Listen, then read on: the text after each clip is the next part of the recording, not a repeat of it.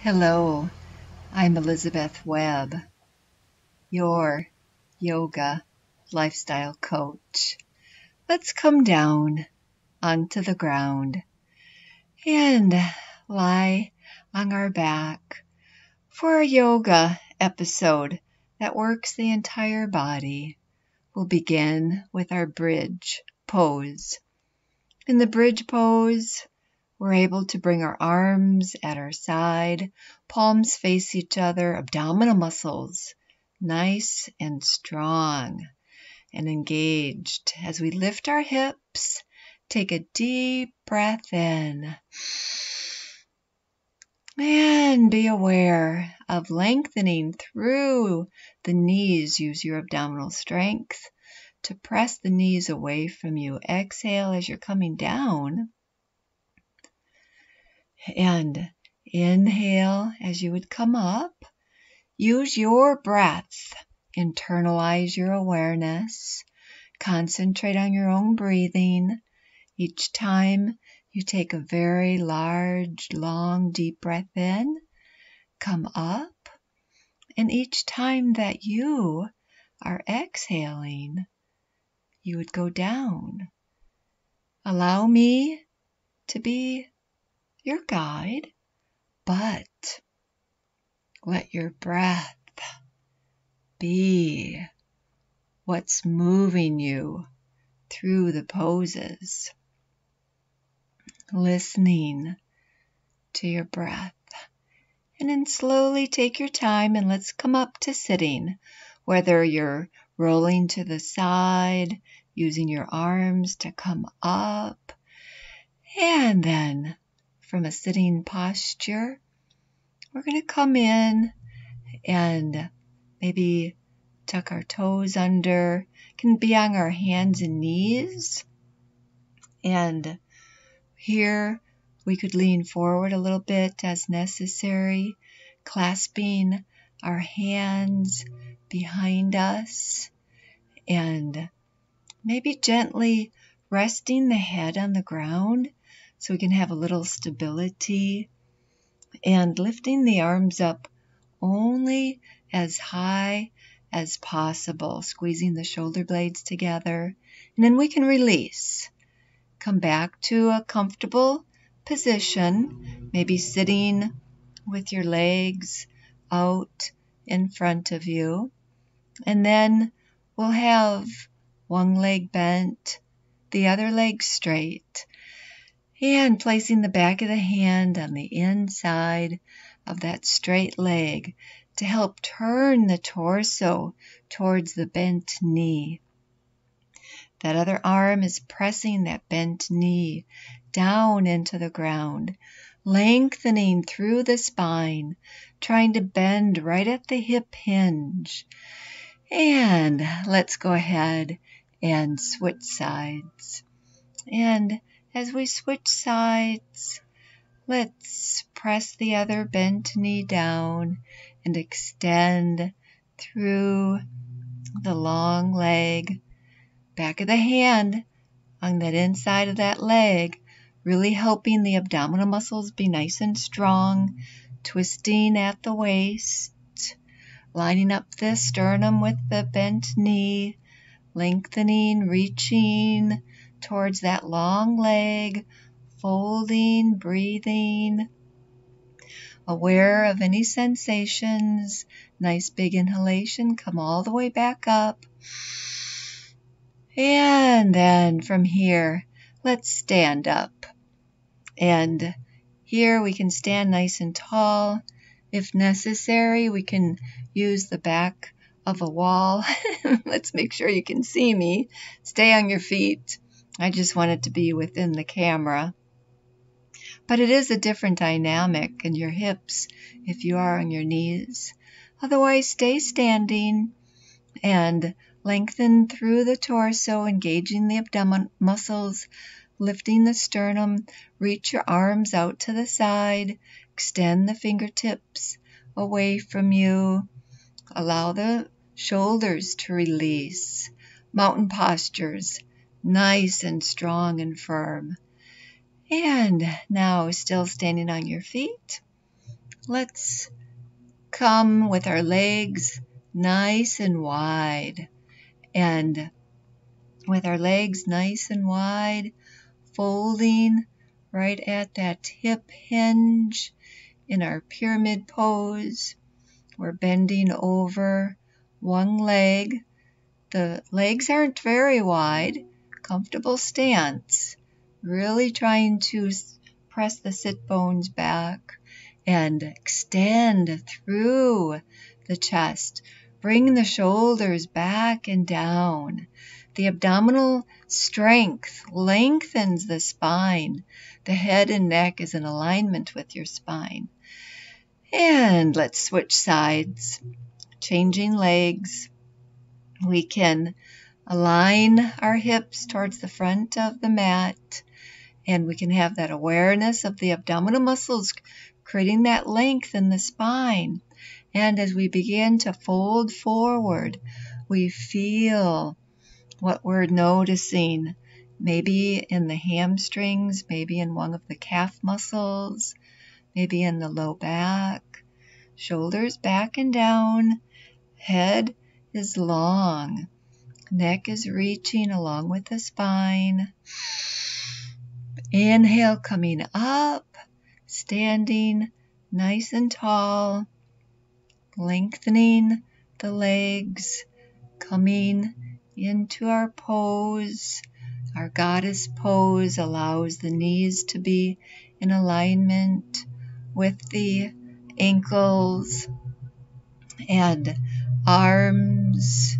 Yes, good. Relax those shoulders.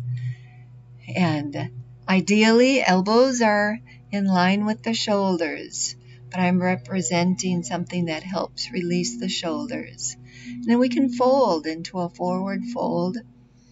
And as we fold, see what your legs need to do. Do they need to bend a little bit so that you can reach for the ground? Are we able to lengthen and turn to one leg as we come into a lunge? And from our lunge pose, can we have that back leg nice and long and strong? Working our way up into our warrior pose. Ideally, the arms are straight up overhead, but we need to have those shoulders relaxed, even as we come into our proud warrior. Lengthen through the fingertips so the shoulders stay relaxed. And then let's see if we can bounce up and balance in our warrior three pose. Nice. It doesn't matter if we stay balanced or not. It's our attempt to balance. And let's switch sides now, starting the lunge on that opposite leg and from our lunge pose, nice tall lunge, we can come right into warrior one. And from warrior one, keep those shoulders relaxed. And then warrior two, we can come back down to the ground. And let's come into a full lunge pose. Let's get all the way down to the ground and come in to our full lunge pose. And then let's feel what it feels like to come up into warrior one from the ground, keeping the shoulders relaxed, extend the arms, reach, use those latissimus dorsi, the lats muscles to help extend the arms. Don't use the top of the shoulders. Bounce up into our warrior three. If possible, we can press our back foot into something to help stabilize our balance, or like I was reaching my fingertips forward and resting them for balance, or jet our airplane arms. And then releasing from that, coming into our king dancer pose, grabbing our ankle and extending, reaching the other arm up and be aware of the breath. Be aware of kicking that back foot into your hand and notice the thigh stretch. And let's release, doing that on the other side. And then here, let's kick that back foot into the hand and release or not. See if you can keep staying in the pose, breathing, readjusting anytime you need to. Aware of the pose, aware of the front body opening, feeling all the sensations. And now let's release.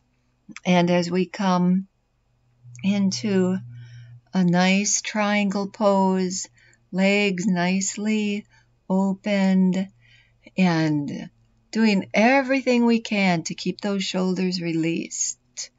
So instead of bringing that arm all the way straight up, point it backwards, and then revolve our triangle as we really focus on the release of the shoulders, constant release of the shoulders. And let's pivot our feet all the way around for that triangle pose on the other side. Aware of our alignment. Notice where our hips are. Abdominal muscles nice and strong. Lengthening through the spine. Good. Nice elongation on both sides of the spine. Head and neck in alignment with the spine. And arms long and reaching. Legs are firm and grounded. The breath is full and complete, and we revolve our triangle to the other side as we continue to breathe, feeling that strength in the abdomen, feeling how strong the belly is to create that twist as we breathe as we're here, feeling that triangle revolving. Breathing deeply, release and come out. And let's make our way down to the ground. After any yoga practice, it is so vital to give your body permission to let go, relax, release. Sink down onto the ground. Open up into the corpse pose, forming three triangles a triangle between the feet and a triangle between the hands, allowing the energy to flow up between the legs and allowing the energy to flow up into the underarm area. And allowing your head and neck to be in whatever comfortable position is for you. And letting go, letting go of our breath, letting go of doing, so we're not doing. The breath, the body breathes naturally, all on its own as we relax and give way. Hmm. And then we can bend our knees and roll to one side. And push ourselves up to sitting, finding a comfortable seat, and bringing the hands together in front of your chest, pressing the palms together. Hmm, bowing our head. Namaste. The light within me sees that same light within you. Shanti. Peace.